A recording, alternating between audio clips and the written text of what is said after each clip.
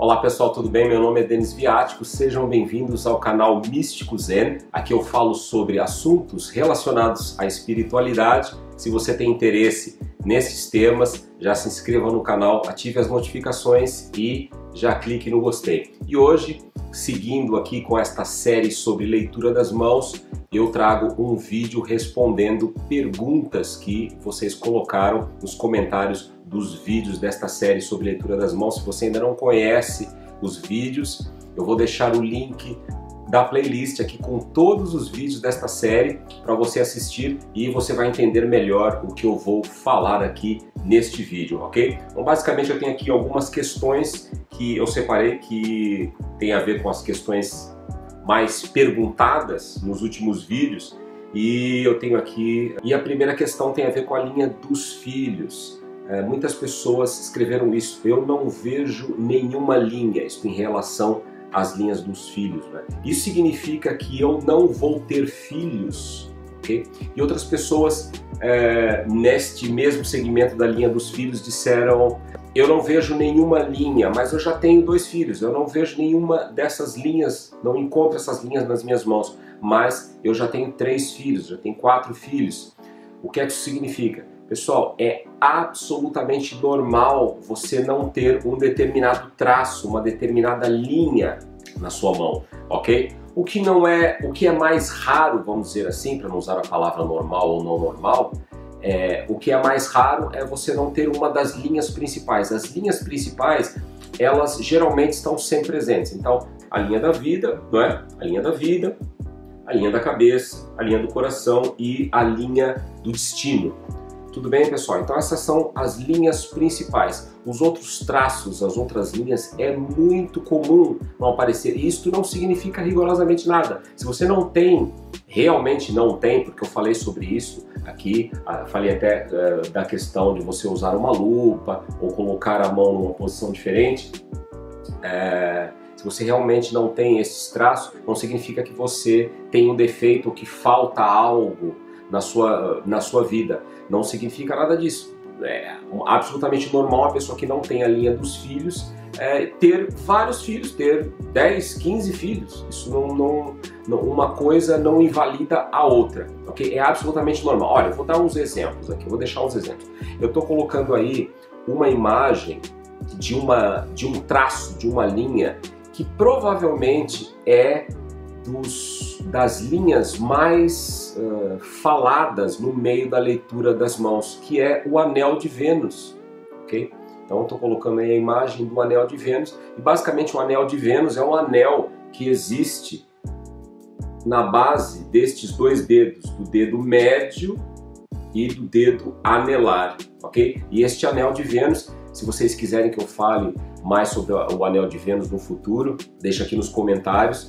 É, mas o anel de Vênus ele tem a ver com a espiritualidade e também tem a ver com a sexualidade, ok? É um traço importante, mas são raríssimas as pessoas que têm este traço. Eu, por exemplo, que eu me lembro, eu conheço só duas pessoas. Eu conheço uma pessoa que trabalhou para mim, aqui trabalhou comigo em Portugal, e a minha namorada tem este traço. São só essas duas pessoas que eu consigo assim de memória me lembrar agora neste momento. Então é um traço raro você tem esse traço na mão?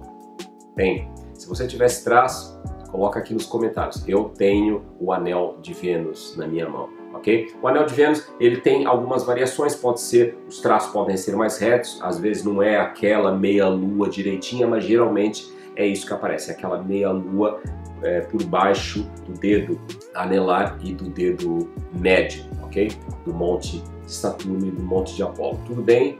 Pessoal, então é absolutamente normal. Outro exemplo que eu posso dar é essa linha que está aparecendo aí, que é a linha de Marte. Okay? A linha de Marte, que eu chamo linha do anjo da guarda, é uma linha que corre, ela aparece paralelamente, ela aparece do lado de dentro, do lado interior da, da linha da vida e ela está paralela à linha da vida, em alguma altura da vida da pessoa. Então eu estou colocando aí este desenho é, com esta linha nesta posição, mas esta linha ela pode aparecer mais para cima, ela pode aparecer mais para o início da vida, da, da, linha da vida, pode aparecer mais para o meio, pode estar mais para baixo, ela pode estar em qualquer posição, ela pode inclusive ter um comprimento maior do que este que eu coloquei aí, isso foi só um exemplo, mas só para vocês perceberem que é uma linha que ela é paralela à linha da vida. E o que é esta linha de Marte ou a linha do anjo da guarda?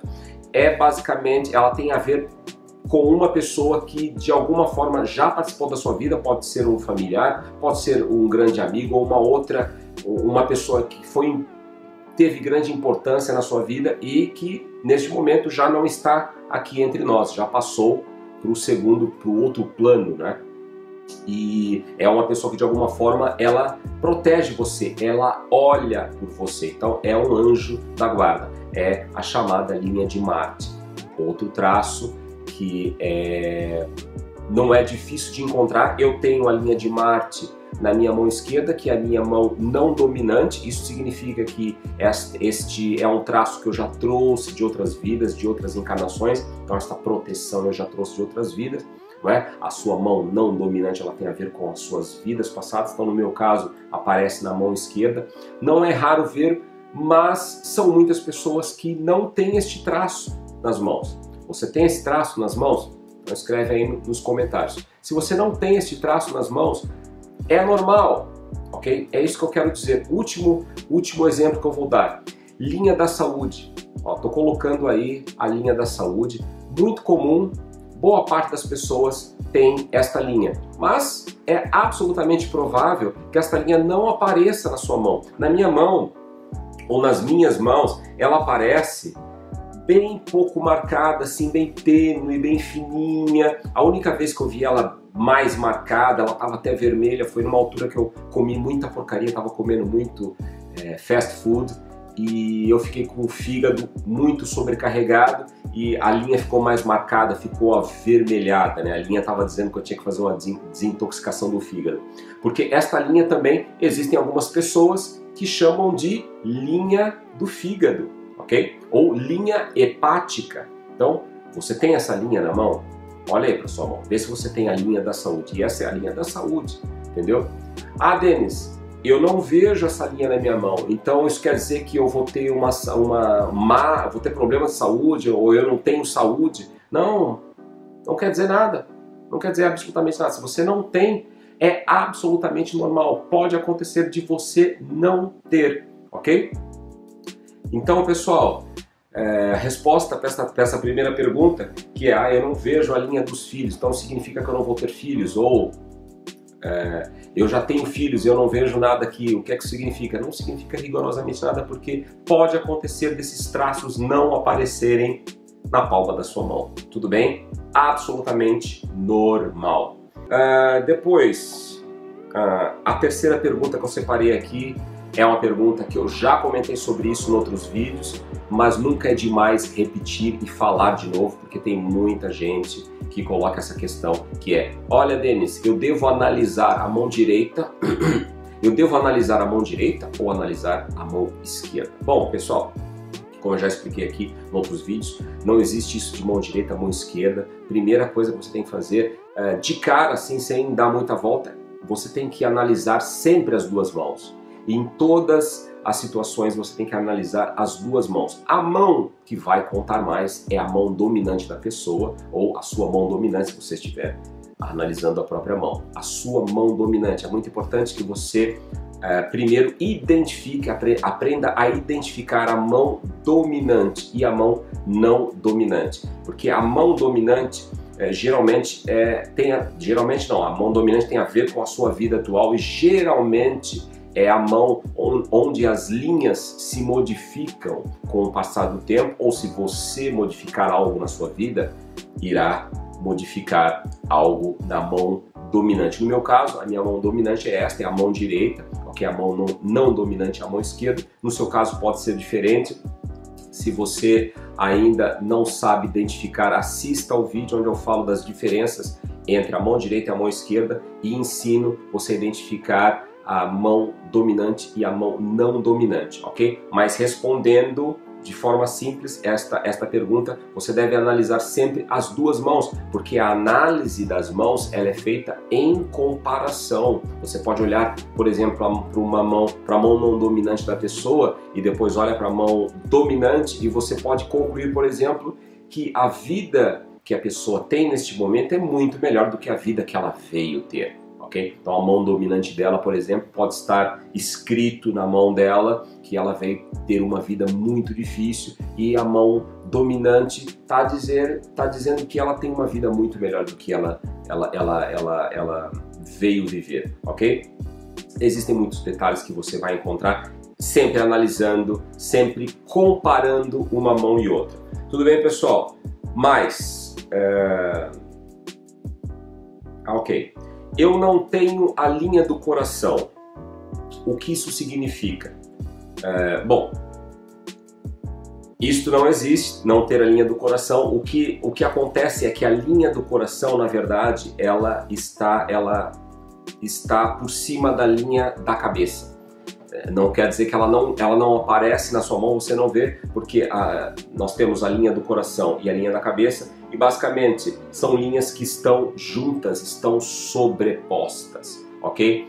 O que é que isso significa? Bom, geralmente 99% dos casos das pessoas que tem este padrão na, na, na, nas mãos, a linha sobreposta, né? Então pensam, ah, eu não tenho a linha do coração, não. Não significa que você não tem a linha do coração. Significa que a linha está sobreposta. Em 99% dos casos, significa que a pessoa ela, ela toma as decisões muito mais por aqui, muito mais pela cabeça do que pelo coração. A razão acaba mandando no coração. A pessoa, em muitos momentos, ela, ela, ela vai ser mais racional, ela vai muito mais pelo racional do que pelo emocional. Ah, eu tenho um defeito, não tenho a linha do coração. Não, não existe isso, ok? Então, tá respondido, mas esta, na verdade, não é uma pergunta, é uma afirmação que muitas, muitas, muitas pessoas colocaram no vídeo onde eu falo sobre a letra M na palma da mão. E a afirmação que as pessoas colocaram foi: todas as pessoas têm a letra M na palma da mão. Pessoal, isto não poderia estar mais longe da verdade. Isto não é verdade. Eu não tenho a letra M na palma da mão. E basicamente eu não tenho a letra M na palma da mão porque ela não se forma. Uma das coisas importantes para formar a letra M na, na, palma, na palma da mão é você ter a linha da cabeça colada à linha da vida, como eu estou mostrando aí neste gráfico, ok? A, a minha linha da cabeça, como a linha da cabeça de muitas pessoas, é separada da linha da vida, ok? Então a, eu não tenho a letra M formada nem na mão direita e nem na mão esquerda. E essas pessoas elas, come, elas comentam isso como quem diz: ah, você está uh, eh, enrolando as pessoas, todo mundo tem a letra M na palma da mão. Não é verdade, isso não é verdade. Eu não tenho nem na mão direita, nem na mão esquerda, nem na mão dominante, nem na mão não dominante. Outro, outro traço que decide e que também é, faz a diferença na, na, nos traçados aqui, da, nas linhas das minhas mãos, é a linha, a linha do destino. A linha do destino também é uma linha importantíssima para formar a letra M. E a minha linha do destino nas duas mãos, ela aparece com grandes desvios que também não ajuda muito para a, formar a letra M. E esses desvios eles são é, muito comuns em mãos de pessoas que é, passaram a viver em outros países. Não aquelas pessoas que vivem um ano em Nova York, depois vivem um ano na Rússia, um ano aqui, um ano ali. Não, pessoas que mudaram mesmo de vida, mudaram mesmo de país. Eu estou aqui em Portugal há 22 anos, então é muito é, é, normal aparecer este traço na, nas linhas das mãos, na linha do, do, do destino. Ok, Denis, mas você disse que você tem nas duas mãos. Pois é, eu já trouxe este padrão na mão esquerda, então a minha mão esquerda já estava dizendo que provavelmente eu iria sair do país onde eu nasci, ok? Basicamente é isso. Mas, respondendo aqui a este comentário, muitas pessoas comentam isto, isto não é verdade é, nem todas as pessoas têm a letra M na palma da mão. Eu não tenho, ok? E muita gente não tem. Agora sim, a última pergunta que eu quero responder aqui e partilhar com vocês. Pessoas que perguntaram, muita gente perguntou sobre quebras, quebras na linha do coração. Então eu estou mostrando aí uma quebra na linha do coração. Então, uma quebra como essa que vocês estão vendo aí tem a ver com um contratempo emocional. Pense naquela frase, naquela expressão coração partido. Então, tem tudo a ver com esta linha do coração quebrada. Esta quebra pode estar em qualquer parte do coração e dependendo da, da, da, parte você consegue saber em que altura que foi, se foi aos 20 anos, aos 30, aos 40, aos 50, ok? E você pode dizer, olha, que eu estou vendo aqui aos seus 40 anos você teve um, um contratempo aqui em termos de relacionamento. Pessoal, é, como eu sempre digo, nem tudo está escrito, gravado na pedra, pode ser isso e também pode ser um problema que a pessoa teve a nível cardíaco, porque a linha do coração também tem a ver com o órgão coração, ok? Como eu já falei no outro, no outro vídeo. Tudo bem? É, mas, é, que o que eu queria falar sobre isto. É, ah, geralmente é uma situação que marca a pessoa. Então imagina que a pessoa ela terminou um relacionamento, não é só porque ela terminou um relacionamento e até ficou triste que vai aparecer uma quebra no coração dela. É algo que vai marcar a existência da pessoa, ok? É algo que vai marcar a vida da pessoa. A pessoa ela fica na fossa. É, é uma coisa muito. Imagina aquelas pessoas que um dia antes do casamento, o noivo vai lá e termina com o casamento, ou a noiva termina com o casamento, esse tipo de, de situação. Não precisa ser algo tão dramático assim, mas eu estou dando um exemplo bem exagerado para vocês entenderem. É algo que marca a vida da pessoa, ok? Mas existe outro padrão, que é este padrão que eu estou colocando aí para vocês, que é uma quebra na mesma. Só que é uma, são linhas, as linhas estão sobrepostas, elas não estão é, elas estão paralelas, ok? Existe uma parte que está sobreposta e isto tem a ver com também com o contratempo emocional, mas é um contratempo passageiro, é algo tem a ver com algo que se resolve ou que acaba até melhorando, ok? Então, basicamente a pessoa ela não tem a linha assim, a quebra, né? Ela tem a linha sobreposta. E esta sobreposição também vai dizer quanto tempo é que durou este contratempo, ok? Ou quanto tempo que a pessoa demorou para se recuperar do contratempo. Por exemplo, ela pode estar assim, pode estar sobreposta dessa forma, pode estar um pouco mais, pode estar um pouco mais. Então imagina, é só uma, um exemplo. Assim, ela demorou cinco meses, seis meses, um ano. Assim, ela já demorou quase um ano e meio. Assim, ela já demorou mais. Mas o simples fato das linhas estarem sobrepostas significa que a pessoa ela conseguiu sair bem daquela situação, ela conseguiu se recuperar daquela situação, uh, ou ela conseguiu sair numa posição melhor. Um exemplo muito simples é Imagina, as pessoas se afastaram, se separaram durante aquele período, que eu estava aqui exemplificando, durante aquele período, e se a linha está sobreposta, significa que elas voltaram a, a, estar juntas. Então teve ali um contratempo, teve ali aquele tremor na relação, no casamento, e mas depois ficou tudo bem. Ok, pessoal? Então eu vou concluir o vídeo aqui é, depois eu gravo outros vídeos com perguntas. Eu não queria deixar de gravar este vídeo porque realmente essas perguntas são as questões que mais colocaram em todos os vídeos desta, desta série sobre leitura das mãos. Como eu já falei, eu vou deixar o link é, sobre esta série, ou com todos os vídeos desta série aqui na descrição. Se você gosta desses assuntos, se inscreva no canal eu estou trazendo muita informação boa, não só sobre leitura das mãos, vou voltar com os vídeos sobre almas gêmeas, não sobre chama gêmeas, mas também sobre almas gêmeas e sobre outros assuntos. Então se inscreva no canal, clique no gostei se você gostou no vídeo, clique no não gostei se você não, não gostou do vídeo. Comente, deixe o seu comentário, deixe a sua questão aqui. É, eu vou responder a sua questão em outros vídeos ou dependendo se eu tiver tempo eu respondo mesmo aqui nos comentários, ok? Então, se você ainda não se inscreveu no canal, se inscreva, não se esqueça de seguir o nosso Instagram. Isso faz muito bem para o seu karma, faz muito bem para o seu ego, vai fazer muito bem para a sua vida. Siga a nossa página do Instagram, ok? E a gente se vê no próximo vídeo. Um abraço e até a próxima.